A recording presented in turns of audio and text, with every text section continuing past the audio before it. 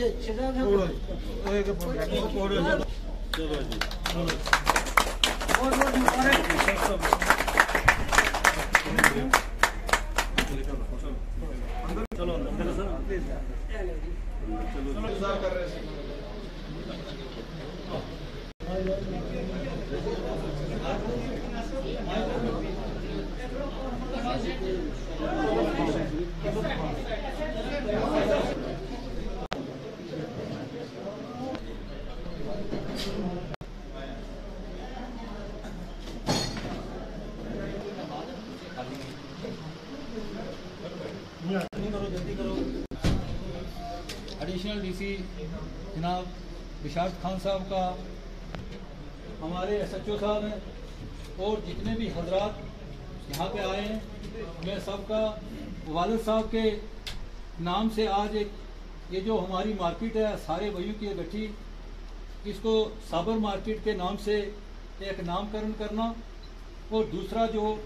मेंढर की बहुत ही परेशानी थी हमें कोई भी आदमी आता था तो हमें दुकानों पर बैठ के खाना खाया जाता था तो मैंने ये साढ़े चार साल ये पूरा जितना भी डिज़ाइन किया सारा कुछ बनाया एक एक चीज़ पर बड़ी मेहनत की। मैंने कहा ये भी खिदमत खलक है। तो मैं इससे ज़्यादा कुछ ना कहते हुए जनाब विशारद साहब को एडिशनल डी सी साहब को कहता हूँ कि दो लफज दो लफज आप अपने यहाँ पर ख्याल का इजहार करें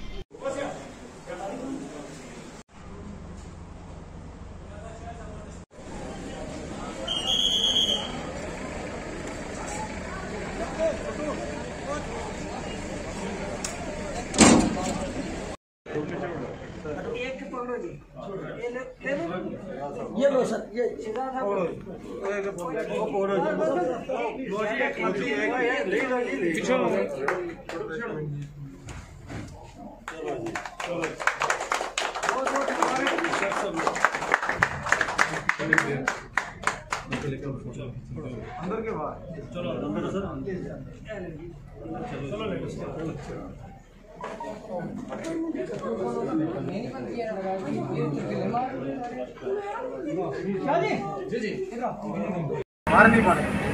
मिनट देखना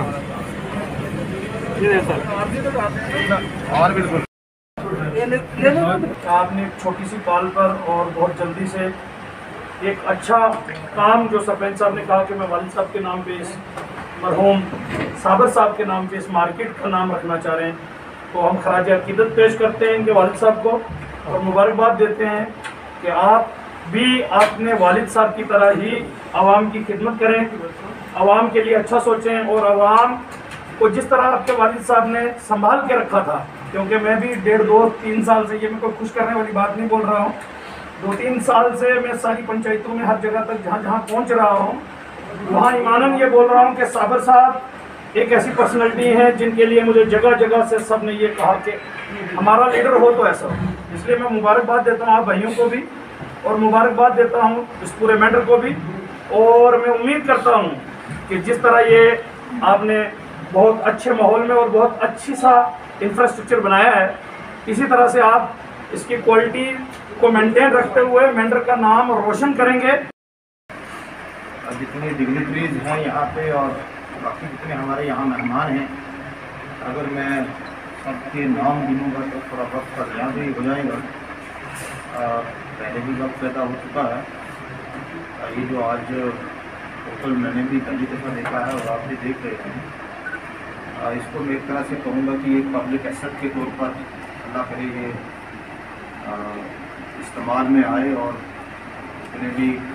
हमारे यहाँ बाहर से आने वाले मेहमान हैं या मेडल के जितने माशी हैं, उनको जितनी दुशारियाँ थी